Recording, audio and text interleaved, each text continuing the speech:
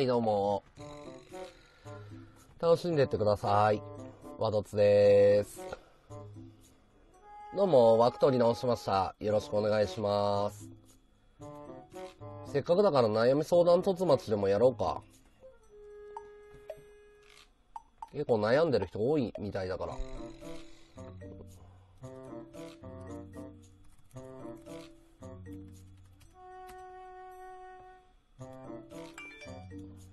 はい、ワドツ。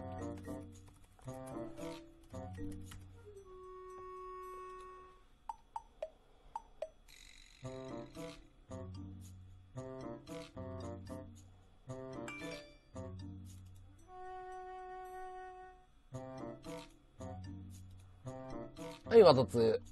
悩み相談突待ちやります。もし悩みがある人は、えー、突かけてきてください。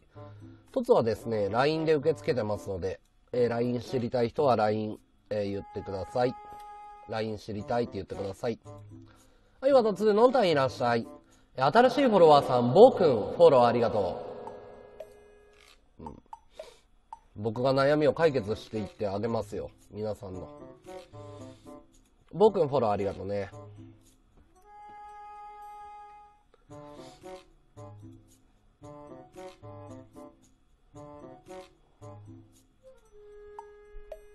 さっきの続きいいですか？どうぞどうぞ。某配信者に LINE の内容は晒していいよって言ったけど、LINE まで晒されたと。うん。もしよかったら凸かけてきていいよ。うん。コメントでもいいけど。どっちか選んでください。続き、続き行こうよ。またカオコ何カオコって？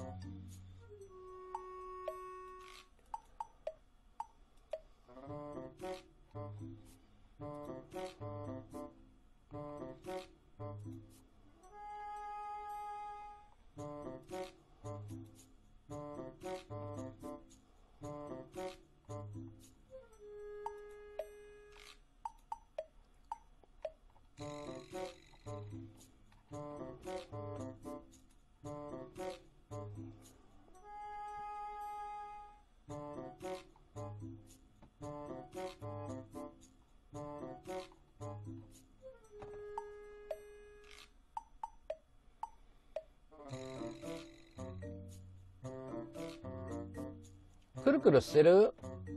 嘘。入り直して。ほんとだ、見れない。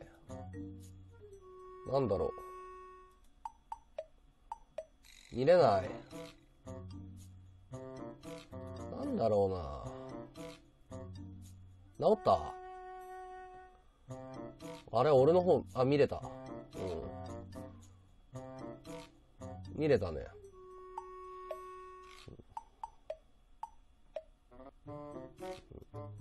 サーバーが本当に調子悪いね。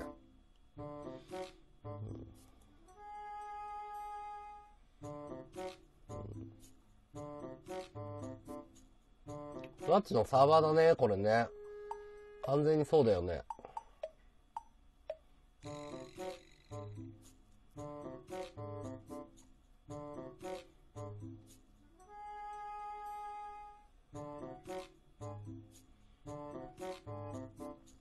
ふわっちサーバーダメだね。ここ最近本当にダメ。調子悪すぎ。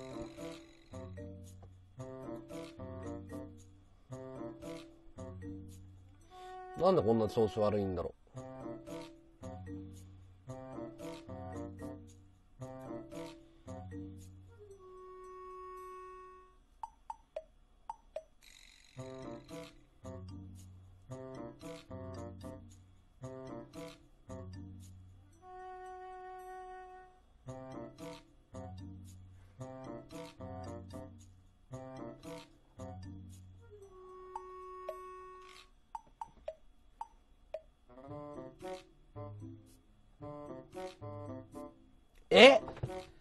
アイラって整形した？アイラ整形したでしょアイラが顔変わってるんだけど。アイラ整形しただろ、これ。こんなイケメンだったっけ？アイラって。え、アイラってこんなイケメンだった？アイラ絶対顔いじったんだけど、久々顔見たわ。久々顔見た。いや、アイラが今若いやってて顔出してるんだけど、確実に、え、化粧かな？え、こんな顔だったっけ？アイラって。えー、こんな顔だったっけ？アイラ。化粧かな？こんなイケメンだったっけ？あれ？なんか印象が全然違うんだけど。クソで有名な配信者の方がひどいです。アイラー。あー。アイラ、イケメン化してるわ。こんな顔だったっけ？相変わらずイケメンだよな。こんなイケメンだったらね、モテるだろうね。始まるの待ってた。ごめんごめん。ミオンいらっしゃい。楽しんでて。なんか、サーバーがおかしいらしいね、今日は。お帰り。すごい化粧でしょすごいド派手なメイクだよね。お前バンドマンかよっていう。カイチいらっしゃい。お前バンドマン、お前ビジュアル系バンドかよって。すげえな。化粧うまいんだね。くるくる、はいよ。うん。えー、すげえな。こんな、こんな感じになるんだね。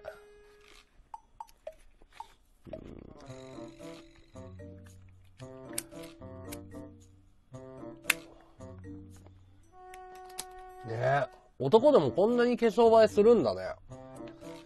でもぶっちゃけイケメンだよな。うん。女だったら惚れるのわかるわ。はい、入り直しいってらっしゃい。すげえな。すげえな。はい、ただいまお帰り、みようお帰り。楽しんでて。えー、こんなに変わるんだ。帰り。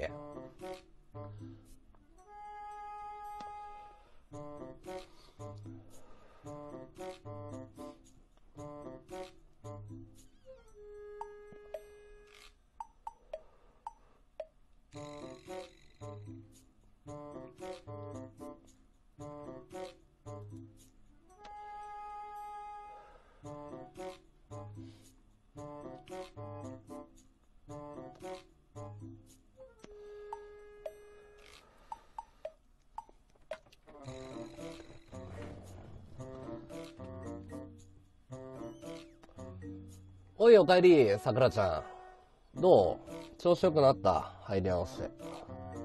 おい、ワトツー、古代いつもありがとう。いらっしゃい。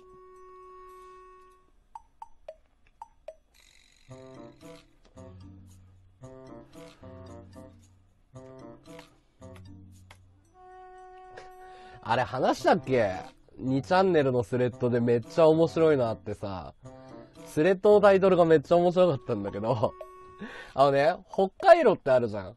で、北海道があって、北海道って注意書きがあるのね。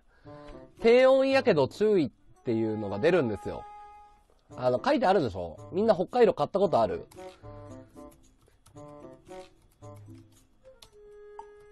こういう風に書いてあるの。低温やけど、こうやってね、あの、北海道のところには、低温やけど注意って書いてあるの。で、2ちゃんで爆笑したのが、スレッドに、スレッドのタイトル名何になってたかっていうと、なんで北海道の注意書きは関西弁なのって書いてあるスレッドがあって。ある、あったあった。机の横にあったね。うん。えー、どこだろう。注意書きがどっかに書いてあるらしくて、ここ。えっ、ー、と、低温やけど注意ってこの辺に書いてあるんだけど、ね。なんで、北海道の注意書きだけ関西弁なのっていうスレッドのタイトルがあって、くっそ笑ったんだよね。この低温やけどを、低温やけど注意を、そのスレッドの主は、低温やけど注意っていう風に読んだの。考えられなくない？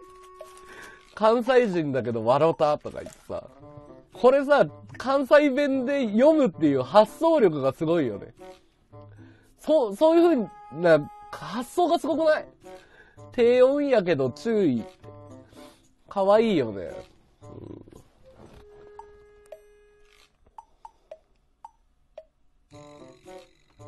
うん。うん、ああ、みおちゃん全然いいよ、全然いいよ。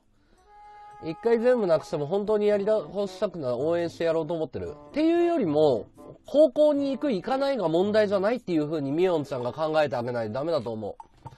みおんちゃんが今心配してあげるのは、その子が何に悩んでるのかの根本を、根本を知ることだよ。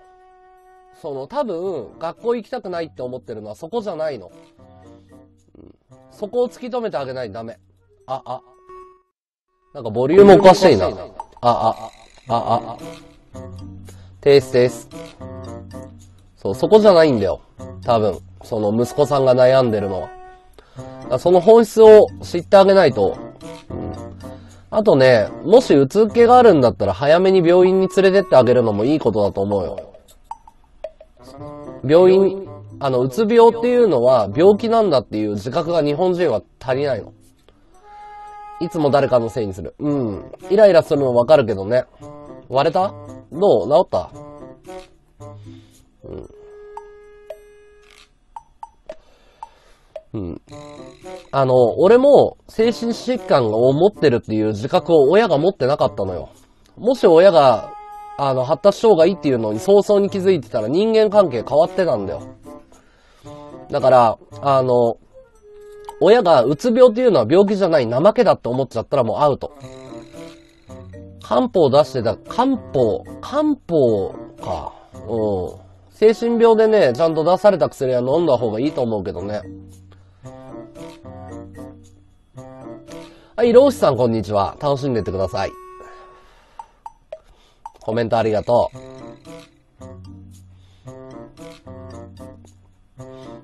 そう。うつ病は病気じゃないって思うのが日本人根性論大好きだから、それでおかしくなる人いっぱいいるからね。うん。立派な病気ですから。風邪ひいた時にステーキ食わせないでしょ。うん。他の病院行くのもありかもしんないよ。全然違うから病院によって。駅前のね、精神病の大きいところだと薬しか出さないでケアしなかったりするから。うん。なんか大卒になって上場企業に働かせようと思ってる親が多すぎるんだよ。それだけが幸せじゃないからさ。M さんこんばんは。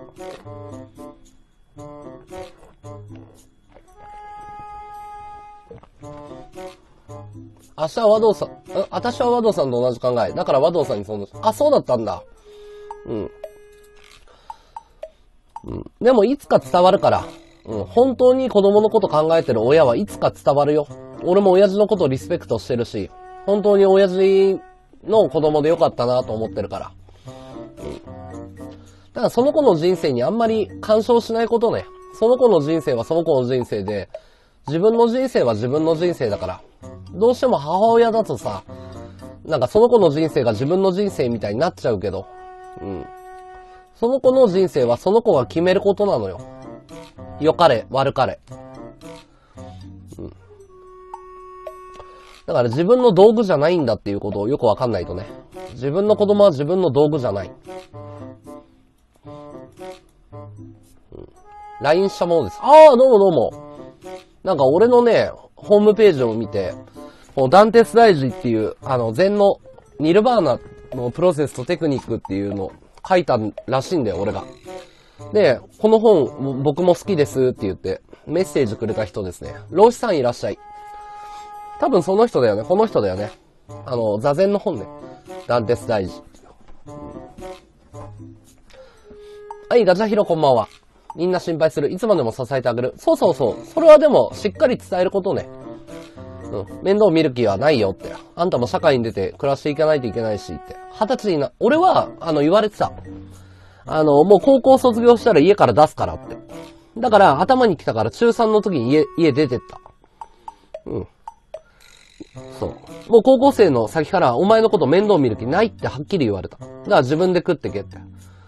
うん。だったら今すぐ出てってやるよっつって、俺はもう高校辞めて働いてた。それを明確に伝えることよ。じゃないといつまで経っても甘えるから、子供っていうのは。ねご飯持ってきてさ、パソコン毎日ずっと触ってられるんだもん。そんな甘くないよ。そのうち餓死するんじゃないのっていうの。それ言って大丈夫。そのうち餓死するんじゃないっていうのは甘えてるんだよ。もうお母さんに甘えてんの。こいつは俺のこと言うこと聞く奴隷だって思ってるんだよ。だから、あの、餓死しなさいって。世の中の動物は働いてないとみんな餓死するんだからっていうのを教えてあげないと。甘やかすのと可愛がるのは違うからね。そういう病気の人って小麦粉渡されて薬飲んだって言ったら治るんじゃないのって言ったら低能の友達と縁切った。うーん、小麦粉、プラシーボ効果って言うんだけど、その友達が言ってんのは医学的に正しいやつなのね。M さん。あの、プラセボとかプラシーボ効果って言うんだけど、偽薬っていう、偽薬っていう日本語で言うと。あの、例えば、あの、薬の実験効果があるかないかを調べるときに、ただのビタミン C、何の薬効も入ってないビタミン C の錠剤ってあるでしょ。うん。また音割れてる。ちょっと待って。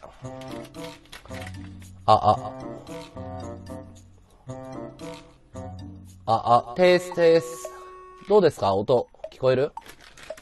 例えば、全く同じ色した、こうやって、これ、こっち側の薬は新薬です。こっち側の薬は、こっち側の薬は特効薬で新薬。もう出たばっかりですごい効果が出ると言われてます。こっちは従来の薬です。で、こっちはビタミン C です。で、この3種類用意するの、必ず。テストの時には。で、どれが当たるかはわかりません。一つはもう超絶対効くと言われてる新薬ですごいもの、普通のもの。で、ビタミン C。で、この3パターンでテストするんだけど、あの、なんでか知らないけど、最新の薬ですっていう情報を与えると、普通の薬より効果が効くの。たとえビタミン C でも。何の効果もなくても効くの。これがプラシーボ効果。精神薬の薬だけじゃないよ。すべての薬。風邪薬だとか、エイズの治療薬とか何でもそうなの。癌の特効薬とか。どんなものでもプラシーボ効果が効くの。だから簡単に言うと人間っていうのは思い込み思い込みだけで、あの、3割の病気は治るって言われてる。だから、これは面白いんだけど、内科の診断ってあるじゃん。風邪ひいたとか。あれって、何割か間違えるんだよ。確か、初診にかかって、風邪ですかねって言った時に、当たる確率って3割ぐらいなの。だから薬7割間違えるんだよ。でも治るでしょ。7割以上。これはプラセーボ効果、プラシーボ効果ですね。そうなの。そこで悩む。働かざるを食うべからずやで。みんなそうやって生きてるねって言うから、死んだらええんじゃないって。いや、あそれはね、息子が完全に甘えてるんだよ。で、それは言葉で言ってもダメ。一回出て行きなさいって教えないと。うん。出て行かせんの。うん。そう。うん。行動で教えないと。見捨てられたと思わないか。本当に自暴自棄になったり辛い思いさせないように自殺しちゃわないか。うーん。息子と話してみないとわかんないかもね。精神疾患はね、どういう期間で治るかよりも、あのね、みんな分かってない人が多くて、障害って一次障害、二次障害っていうのがあって、例えば、俺の場合だと、診断名は統合失調症とうつ病なんですよ。俺の病名っていうのは、うつ病と統合失調症なの。だけど、うつ病と統合失調症は治る病気なんだけど、実はこれの原因になってる病気っていうのがあって、それが発達障害って言われてる病気なの。だから、発達障害でコミュニケーションとかがうまく取れなくて、それでうつ病になるとか。そのうつ病が悪化して統合失調症になる。要は目に見える病気になるっていう感じ。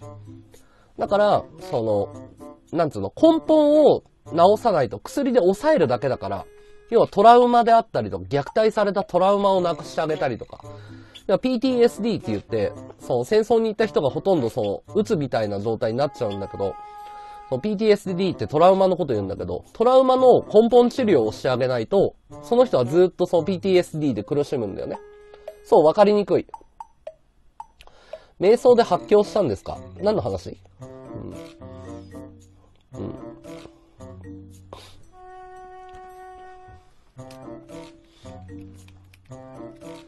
私の息子障害者です。うん。病院にかかり直してみようかな。心療内科に行ったんだけど、あのね、病院に行けばいいって問題じゃないの。要は、病院っていうのは薬出すビジネスだから、薬だけ出すところもいっぱいあるの。要は、要はそういうニーズがあるのよ、東京とかだと。要は薬だけ欲しくてケアする気ないと。もう治らないの分かってるから、薬だけ欲しいの、患者は。だから、もうパッて診療して、パッて薬もらうところもあんの。で、俺が言ってるところは、一回カウンセリングに40分とか30分とか、最低でも20分かけてくれんの。行列ができるんだけど、ちゃんとカウンセリングするところもあるの。そう、カウンセリングが根本的に大事なのよ。医者っていうのは。で、その、なんつうんだろう。薬が一番儲かるから、薬だけ出したいっていう医者もあるから。だから医者に当たり外れかなりあるよ。そこら辺は病院ちゃんと調べたりとか、お母さんが同伴して一緒に行かないとダメ。うん。自閉症と知的障害があり大変ですね。ああ、それ大変だね。うん。それは大変だわ、ガチャヒロさん。うん。俺は精神の方にしか詳しくないから。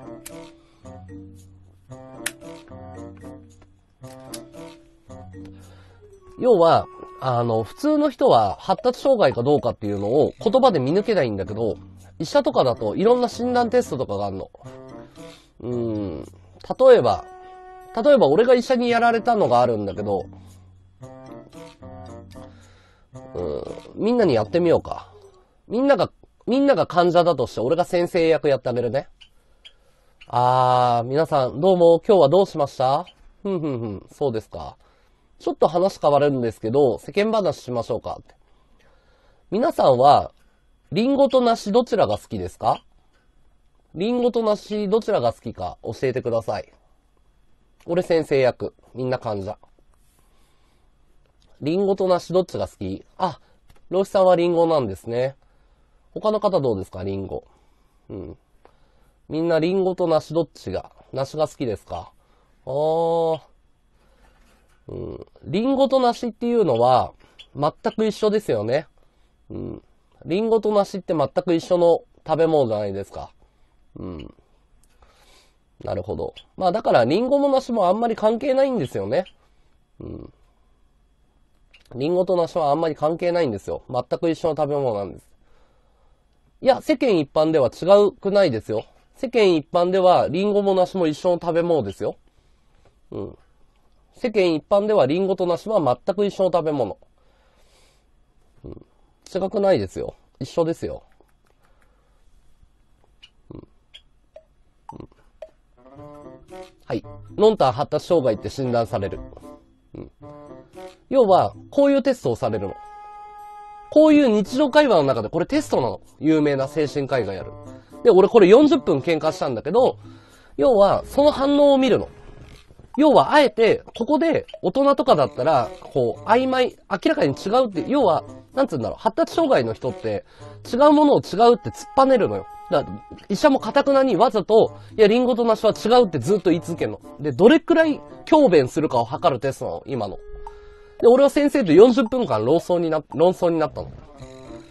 うん。要は、これは、社会適応性がどれくらいあるのかっていうテストの。あえて明らかに間違ってるっていうものを、どういう風な反応をするのかっていうテスト。で、ノンタンは一番最初に食いついたでしょ。違うって。で、重要なのは違うっていうことを指摘するかじゃなくて、どういう指摘の仕方をするかなの。要はそこでトラブルになるのよ。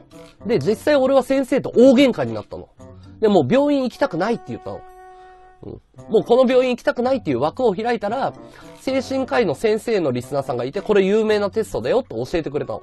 で、実際に次病院行ったら、君発達障害の疑いがあるから、あの、東京、東京にて、東京の病院に行け行こうって言われたの。要は、こんなリンゴと梨の小さい問題で40分間も起こる人っていうのは病気の可能性が高いのよ。普通だったら、その、ああ、もうめんどくせえからいいやとか、相手の顔色伺って、ああ、そうなんですね、とか黙っちゃうじゃん。それができないの、アスベの人っていうのは。うん。面白いでしょ？そう。いや、あのね、問題なのはリンゴと梨を、その、なんていうのかな。その、違いますよっていうことは別に悪いことじゃないの。その時の反応を見るの。そう、怒るとか、そのトラブルになるまで発展させるかとか。そう。そういう心理テストとかをいっぱい持ってるのよ。要はテクニカルなノウハウを持ってるの。もう医学としてそういう傾向とか。だからネットの情報に惑わされるなって言ってるの。専門医っていうのはちゃんと専門家？医者としてそういうのを収めてるわけだから、普段の日常のカウンセリングの中でもそういうのを仕掛けて見つけてくれんの。普段の会話でも。うん。だから、あ、この人これで鬱になりやすいんだっていう。例えば、職場の上司がそういうこと言ってくることもあるのよ。リンゴと梨じゃなくて、あの、リンゴと梨じゃなくて、例えばプログラミング言語を上司が分かってなくて、このプログラムのコード間違えてるよって言った時に、違うって思ったら口論になっちゃいやすいじゃん、その人は。いや、これは僕のやってるの正しいですよ。あなたが間違ってますよって。でも、普通会社で勤めてる場合っていうのは上司にそういうことできないのよ。立場がわかる。あるでしょそうそう。これはリンゴと梨っていう極端な例でやったけど、要はこういう傾向があるっていうのを掴んでいくの。うん。そういうところじゃなかった。じゃあ薬出すだけなんだろうね。うん。俺はこれ実際に仕掛けられて大喧嘩になったの。もう病院出てけって言われるぐらいの超覚えて、なんでわかんないんだよぐらいのもう大喧嘩になったの。うん。しつこいとアホっていうかこだわりが強いってこと。要は、リンゴと梨が一緒か一緒じゃないかなんかどうでもいいんだよ。はっきり言って。でしょ？どうでもいいじゃん。みかんとリンゴは一緒の食べ物だよって言っても、世間一般ではとかいろんなこと言われるので、イライラする性質かどうかっていうことね。ひばちさん、ありがとうね。新しいフォロワーさん紹介します。黒柳徹子さん、フォローありがとうございます。うん。そうそうそう、執着心っていうか、こだわりが強いっていう。俗にアスペの性質ってそこなんだよ。こだわりがめっちゃ強いの。そう。こだわり先輩ですよ。うんだから、その、曲げたくないっていう、正しいことは正しいっていう、アルゴリズミックに動くの。息子の方がきっとめんどくさい。めんどくさって流す。だけど、その、今のは発達障害の傾向を調べる例えで出したけれども、他にもいっぱいあるのよ。他にもいっぱいああるの。今のは発達障害の事例。うん。要は、その専門医師にかかった方がいいよっていうのはそういうことだよっていうことを伝えたかった、俺は。うん。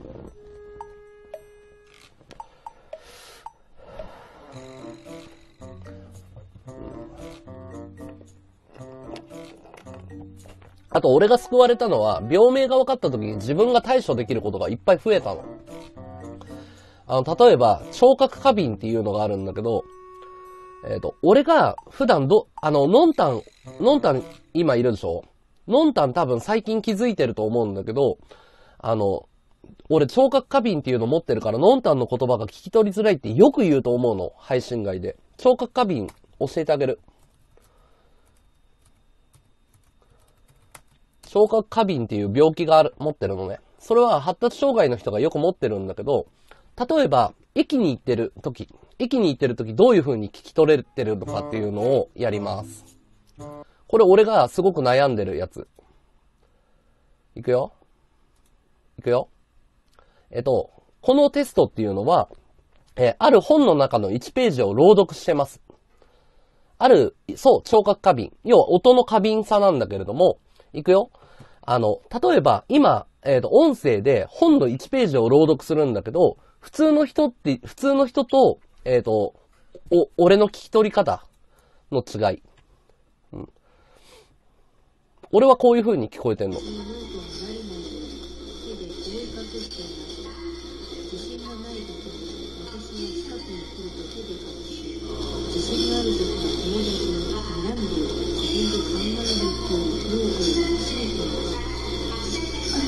日の直前の学習でも同じように隠していました。間違いかどうかは先生が今ね、後で一人で俺は普段こういう風に聞こえてんだよ、ノンタン。だからはっきり喋ってって怒るでしょ。超ストレスでしょ。俺がイライライライラしてんのわかるでしょ。ノンタンに多分プライベートで外いる時とか、ノンタン聞き取れないからってすっごい怒ってるのはこういうことなの。普段こういう風に聞こえてんの、俺は。ノンタンの声が。すごいストレスでしょ。例えば居酒屋の中ではこう聞こえんの。えーと、要は本は朗読してるんだけど、話しかけられてると思って。ノイロ、これが俺の普段なの。普段の生活がこんな感じなの。要は周りのノイズが大きく聞こえるっていう。今度居酒屋バージョ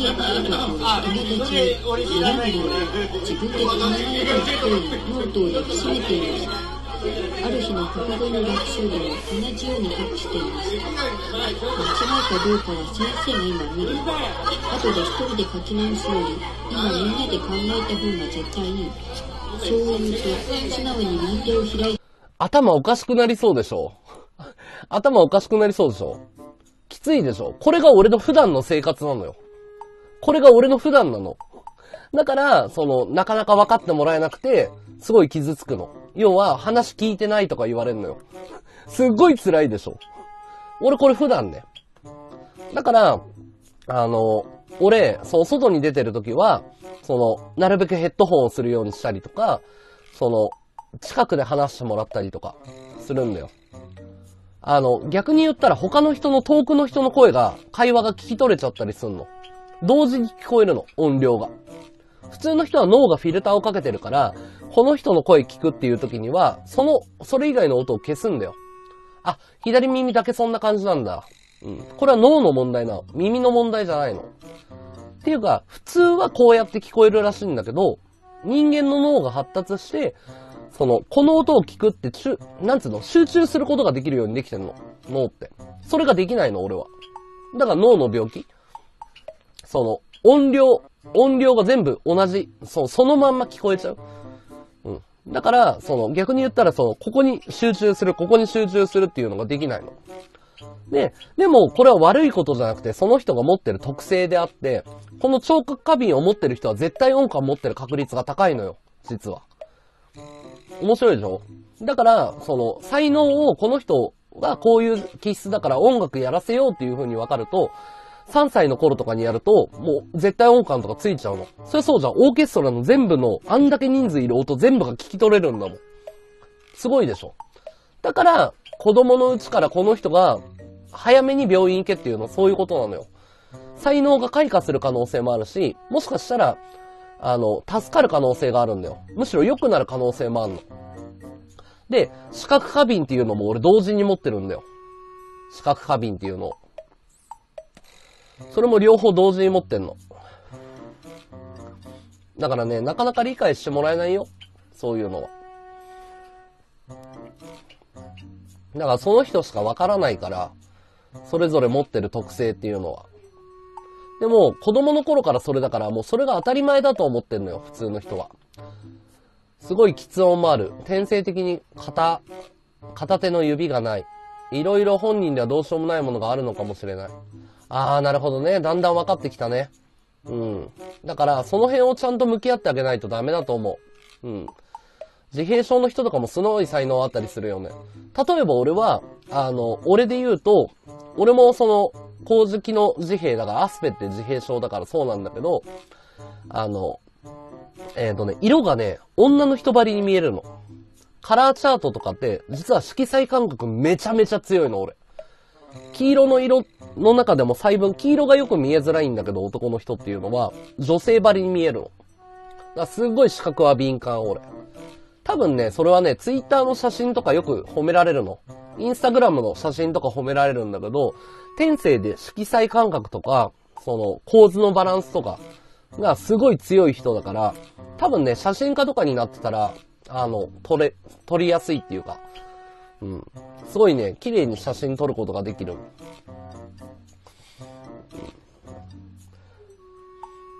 俺をブロックしてくれ。み、うん。うん。他行ってください。なかなか難しいよね、だから。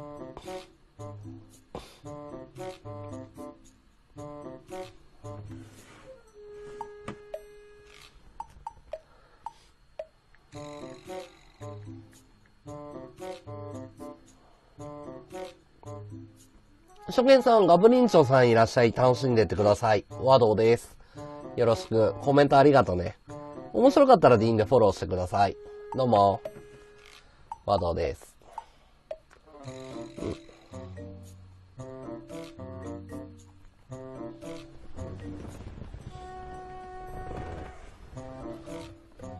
一番大事なのは寛容的な精神で、その子のことを、その子、普通だって思わないことがいいかもしれないね。あ、そうなんだ。なんか後で連絡くれるみたいですよ。うん。なんか今リスナーさんと会ってるみたいなんで。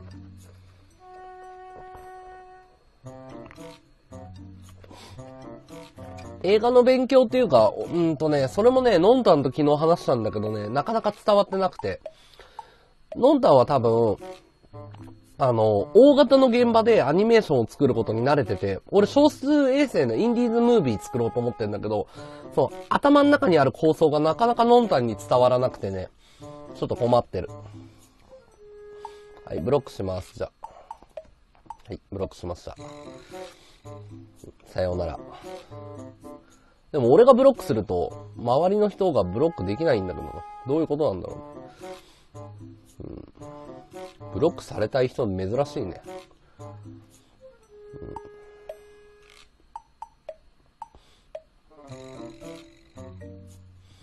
うん、なかなか世の中には変わった人もいっぱいいるんだね。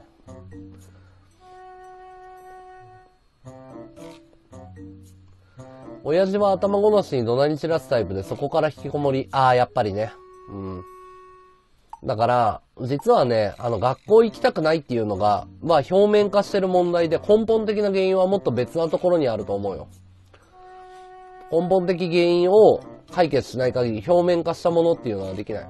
例えば、アトピーっていうのは、その、皮膚が割れるっていうのが症状なわけじゃん。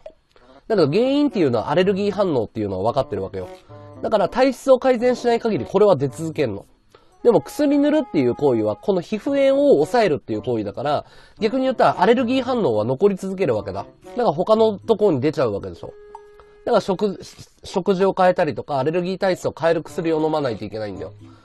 だから、その根本原因っていうのを解決しない限り、その子は救われないよって言ってるのはそういうこと。ミヨンさん。根本の原因がどこにあるのかっていう。それが、まあ、お父さんと人間関係なのか、友達と人間関係なのか。うん。それをね、探ってあげないと。うん。そうじゃないとね、あの、解決しないんですよ。永遠と、永遠とループしちゃうんですよ。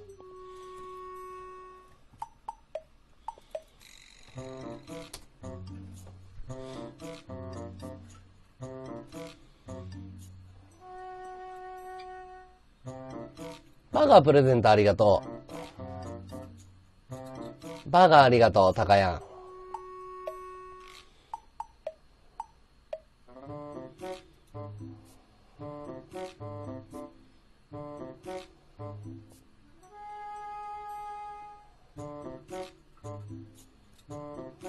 配信にプロとかあるんですか？ドンさんいらっしゃい、コメントありがとう。うーん、まあ、俺のこだわりなんだけど、これは。別に、なんだろう、配信にプロとかアマチュアとか、リスナーさんにとってはないと思うけど、俺配信で飯食っていきたいっていうことずっと言ってたんですよ。で、まあ15万以上稼げるようになったらプロ名乗ろうと思ってて、で、ようやく先月18万稼げるようになったんで、まあプロ名乗ろうかなって思ってる。そんな感じですかね。うん。やっぱ、その何を仕事にしてるのかっていうのにこだわり持つタイプなんで、自分自身が。で、やっぱ好きなことを仕事にするっていうことが目標だったんで、まあ稼げるようになったんで、プロ名乗ろうっていう感じですかね。ああ、全然全然。うん。はい、ワード2、クミタンお帰り。ニコ生やってないよ、もう。ずっとふわっち一本で。ここ2ヶ月ぐらいはずっとふわっちだね。これからはふわっちでずっとやっていく俺は。キャスもやんないし。ふわっち配信者だね。居心地がいいんだよね、ふわっちは。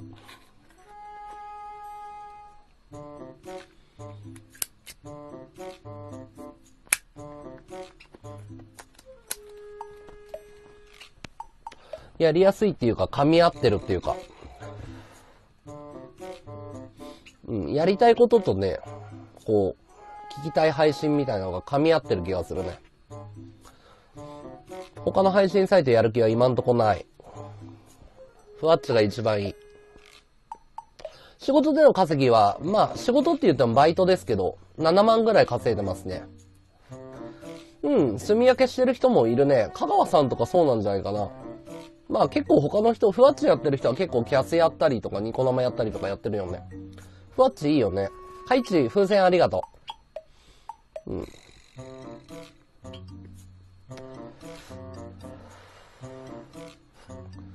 あ、メガホンありがとう、ドンさん。ありがとうございます。だからまあ別に、うん、プロって自分で名乗ってるけど、あんまりリスナーさんからしたらね、プロだろうがアマチュアだろうが面白いやつは面白いって感じでいいと思うよ。うん、ただの自己満って感じがするけど。俺にとってはすごい大事なことなのよ。うん。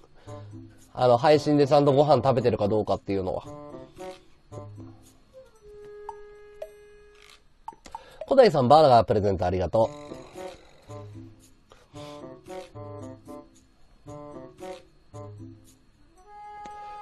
そう。何で、こう、何を収入源にしてるか。ああ、どうもどうも。チャンミーさんいらっしゃい。てるチャンピーから連絡来ないね。そろそろ連絡来る時間帯だと思うけど。なんか、夜中の12時頃、なんか電話しますって言ってたから。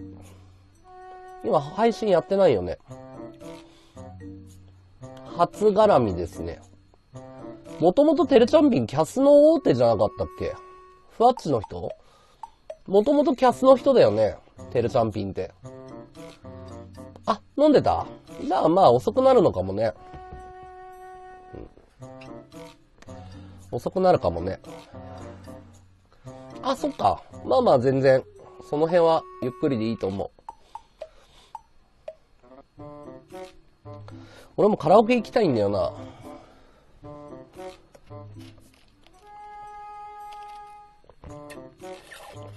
カラオケ行こうかな。元キャスバンクラって私もよく知らない。はあ、はあはあ、もともとキャスだよね。キャスですごい人集めてた気がする。最近よくふわっちやってるよね。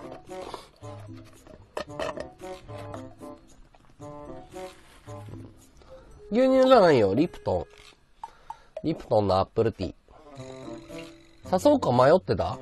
あ、そうなの？うん。まあ、リスナーさんと会ってるから、ほら、リスナーさんが、ね、俺のこと好きか嫌いかとかもあるし。うん。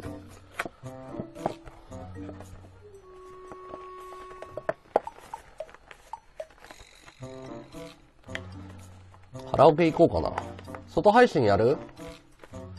カラオケ行く？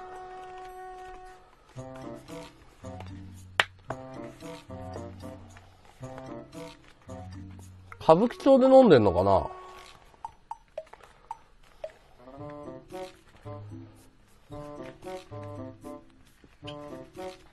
歌舞伎町で飲んでんのかな？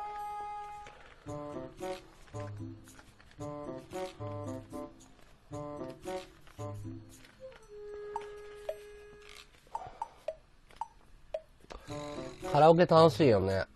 風船10個ありがとう。駅から近いところだったら歌舞伎だな。じゃあ。多分歌舞伎だわ。カラオケ好きなんですよ。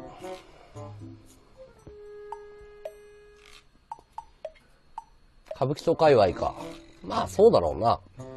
新宿で飲むっつったら。おう、ジョーカーいらっしゃい。楽しんでて。今、外配信やろうか迷ってる感じなんだよね。どうしようかな。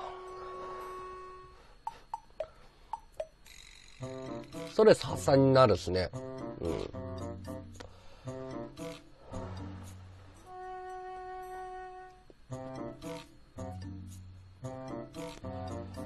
でっかい声出すことはいいことだからね。どうしようかな。外配信行く準備しようかな、じゃあ。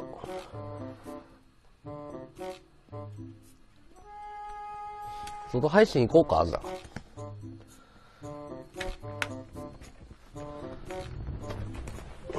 18番は何だろう？いや、何でも歌うよ。18番とかない。いいね。あ、飲んでるリスナーさん大丈夫って言ってたんだ。まあカラオケ行くか、じゃあ。イルミネーション見る？オッケーオッケー。じゃあちょっと準備するわ。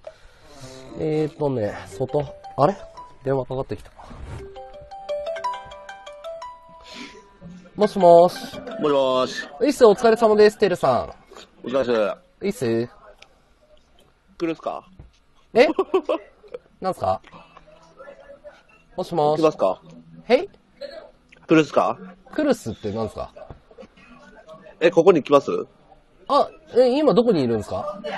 まあ、歌舞伎町っすね。歌舞伎町ですか？あ、じゃあ行きます。あ、了解です。ういっす。はい。はい。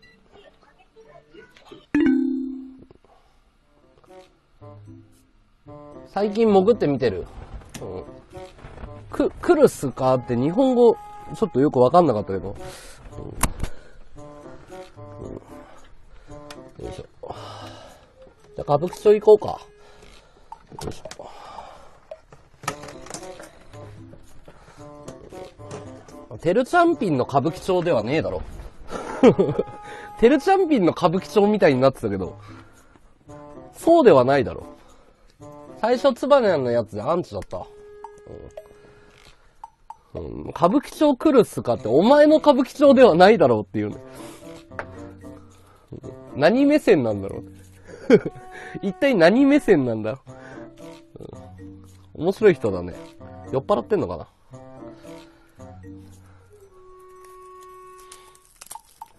いしょ。のんた明日パチンコだよ。うん。沖縄の人かな？俺は沖縄のハーフだよ。俺ハーフ。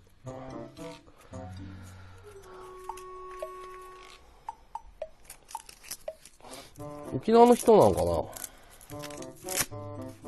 じゃあ行くか。カラオケ行こう、カラオケ。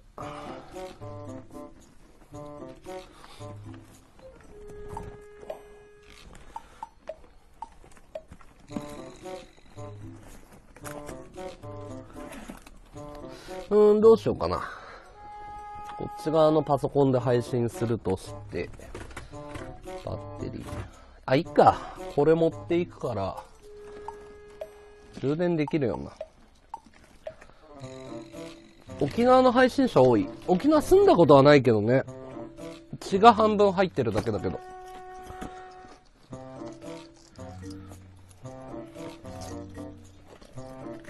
なんかパチンコのイベントがあるんだって。あ、テレチャンピン了解です。どの辺っすか？歌舞伎、あ、西新宿だから歌舞伎まで20分ぐらいかな、歩いて。歩いて20分ぐらい。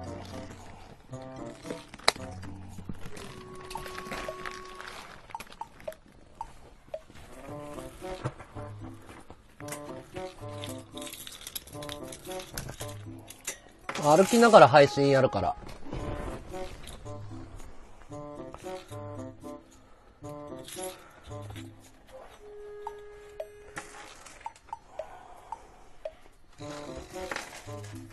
テレチャンピン有名だよ、結構。キャスの人らしいよ、もともと。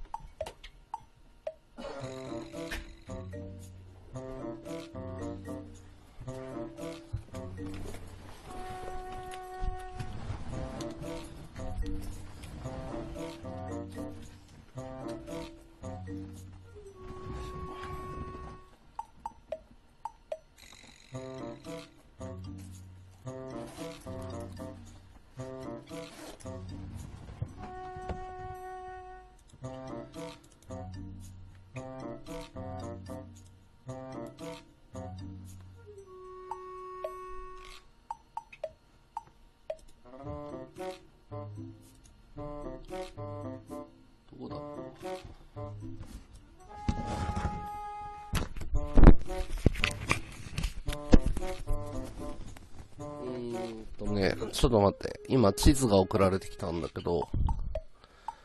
あーっと、どの辺だ？うーん、すげえところで飲んでるな。すげえところで飲んでるわ。